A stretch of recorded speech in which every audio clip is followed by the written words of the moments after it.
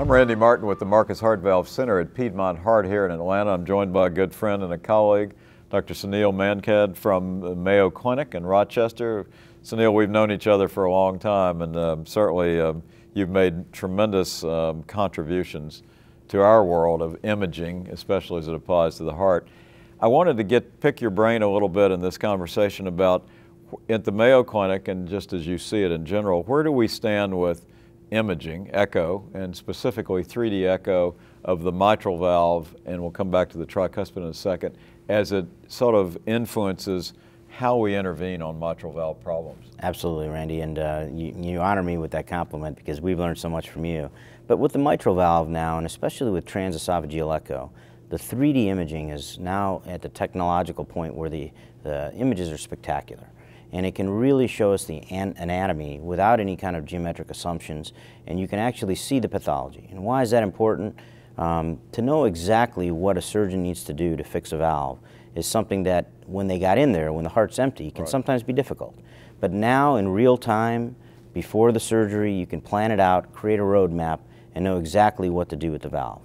And it also helps us understand that valves that are more difficult to repair, where you're not as confident because of the complexity of the anatomy, maybe waiting for the patient to have a little bit of left ventricular dilatation or more significant uh, symptoms before you operate because it'll turn into be a mitral valve replacement uh, is something to consider. The, the, um, you know, I'm thinking uh, 3D transesophageal echo certainly gives uh, really dramatic pictures of the mitral valve, and it, you're right, it's a surgical, it's a surgical view. Do we have the capabilities now looking at the resolution, I'm thinking about image dropout artifacts, all those sort of things. Do we have the resolution now to absolutely see what the surgeon needs to see? I think for the mitral valve, pretty close, pretty close. And especially with the technology, you can do multiple beats, uh, breath hold, acquire images. You really get tremendous frame rate and volume rate, so you can see it. And you know, not only for surgery, but in the cath lab. You know, right. we're, you know, we're guiding now the MitraClip, proce mm -hmm. procedure. Um, even with an old-time procedure like balloon valvuloplasty, to really look at the commissures and see that you have commissural opening after the balloon inflation is really pivotal to know when the interventionalist can stop. And in fact, it's kind of funny, our interventionalists can interpret these 3D images almost as good as our echocardiographers now.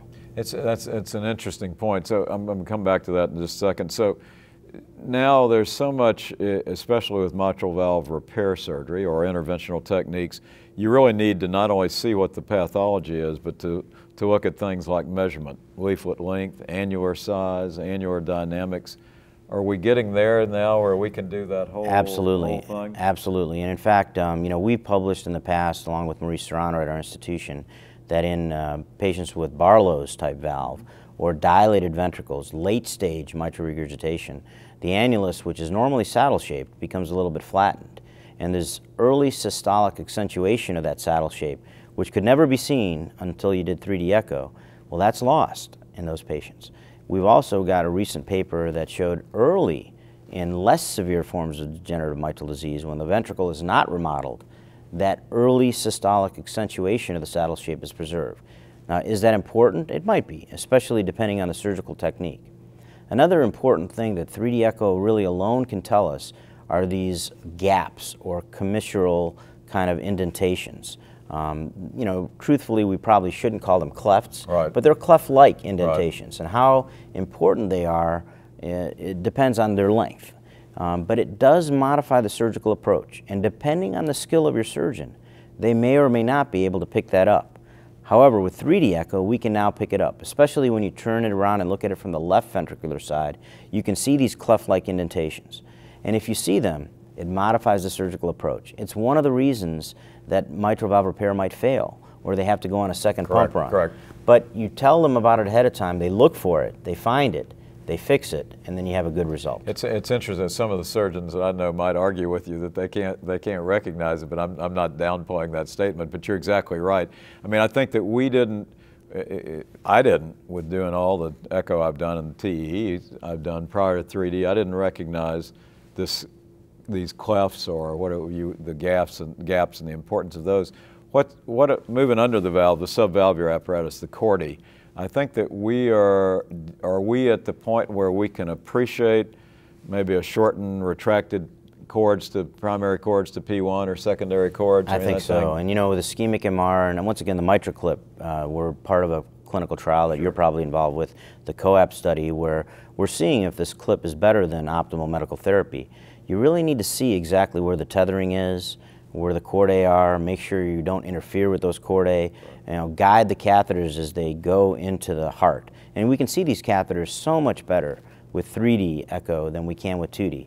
We would see shadowing sometimes with 2D, but you actually see the catheters, you see the tip of the catheter, the direction it takes, so you get a much more uh, better understanding of the underlying geometry that's involved there.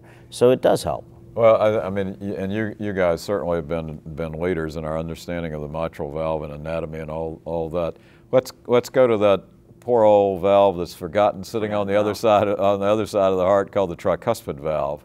Um, and we see, um, I'm sure you in your practice, and I know I, in, my, in our practice, we're seeing a tremendous number of patients who come in with severe tricuspid regurgitation due to multiple etiologies. What, what does 3D echo tell us about the tricuspid valve? Well, uh, first of all, there's often a lot of dilatation, and you just can't see it well by 2D echo unless you do multiple planes. One specific area where it's really impacted our, our care is in the device leads or pacemaker leads. Um, Dr. Roberto Lang, one of the organizers of this fantastic meeting, uh, has recently published nicely showing about a third of the time when we place these leads, they're not ideally placed. They're not in the commissures uh, where they don't interfere with the leaflet coaptation, but they're actually impinging on the leaflets. And if you don't recognize that early, uh, you may not be able to correct it, and then it be, may become irreversible, or there's so much change in the right ventricular size that correcting it after the fact doesn't help. Is that something where, are you, are you, am I hearing you saying that when these are put in, pacers or ICDs, that we ought to be doing 3D echo on them to, to well, say, that's part of a clinical trial that we're involved with right, right, now to see. We can't. I can't prove that to you just yet. But what Roberto showed is that if you just did the 2D echo, and actually, we showed this many years ago. We just can't recognize the mechanism, whether it is from the pacemaker or not, with just 2D transthoracic echo. You need 3D to know if that lead is really impinging on it. Now, you could do TEE in the hands of an expert like yourself, get that uh, uh short axis view, and get a pretty good idea by 2D. But if in the absence of a TEE, by transthoracic, it's very difficult to know if that's the case. Final question about the tricuspid, and that's, that's a lot of uh, talk about tricuspid annular size as a determinant for if you're doing a concomitant mitral valve operation or you want to do an isolated tricuspid valve, you need to know what size it is. How do we measure the tricuspid annulus? When in the cardiac cycle do we measure the tricuspid Yeah, that's annulus? a great point, and uh, because it changes, and obviously, um, really, um, in systole, it's kind of smaller than it is in late diastole. Right. So we would try to measure it in late diastole, and it's interesting the guidelines tell us to do a single 2D measurement.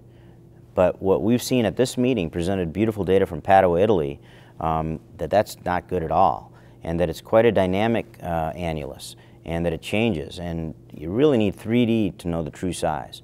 Now, I am of a believer that at the time of a mitral valve operation, if you have some TR and the annulus is dilated, you know what that cutoff you use 35 millimeters or 40 millimeters, the surgeon should probably do something about that tricuspid valve. That remains a little controversial. But first, we as imagers need to accurately measure that right, annulus. Absolutely. And if we're using a single 2D measurement and not at the right time in the cardiac cycle, as you point out, boy, we're really not giving our patients the best that we can. It, it would seem to me that the 3D TEE or the 3D view of the tricuspid valve and annulus is probably going to allow us to do accurate measurements of and, and, and, you know much more accurate. Absolutely, and you know Professor Badano and his group have now published on that, and uh, you know I'm going to take it back to Mayo Clinic and uh, try to convince our surgeons to do that as well um, uh, for that very reason. Good. Well, listen, you've, you've, as I said, I appreciate you sitting down with us and, and talking. You've certainly had a, a, a been a been a, a, shining star in our field of echo as it impacts on uh, valvular heart disease. So thanks very much for well, joining us. Well, we followed uh, your uh, leadership in many echo societies and former president of our American Society of Echo and and actually briefly at Mayo Clinic, if I remember briefly correctly. Briefly at Mayo Clinic. Thank so you. we're we're honored to, to follow in your thanks footsteps. Very much. And thank you all for joining us, and we hope that you'll come back. Uh, we have a lot more interesting discussions for you.